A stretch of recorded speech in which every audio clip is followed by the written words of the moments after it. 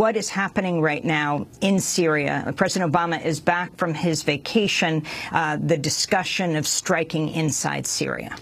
It's interesting that the United States is thinking of striking inside Syria at this point. The question is to what end? I mean, now the Islamic State has taken a major airport outside Raqqa. It's a military airport. It has them, you know, they have now MiGs in their possession. They have so-called MANPADS, surface-to-air missiles. But that's really not what they're after. What they're going to make a move for is to go towards the airport of Hama and the town of Hama, which will cut off Syrian government control over the entire western flank of Syria. So they have a very interesting territorial ambition to create a big zone, a crescent, as it were, from Tripoli in Lebanon all the way out to uh, northern Iraq. That's their game plan.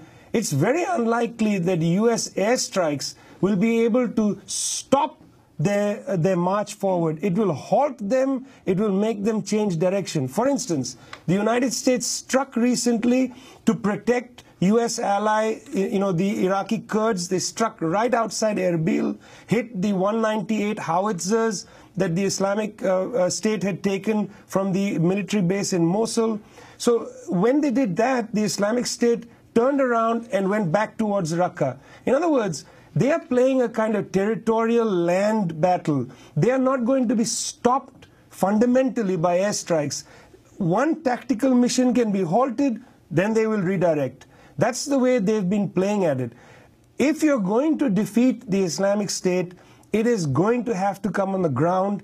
It's going to have to come through Kurdish forces, through Iraqi forces, through Syrian forces. And currently, that is not something people are talking about. There is a belief in the great silver bullet of American aerial strikes. And I'm afraid, you know, that's very pleasant to hear because it sounds like the Americans are doing something, but it's not really strategically useful in the long run.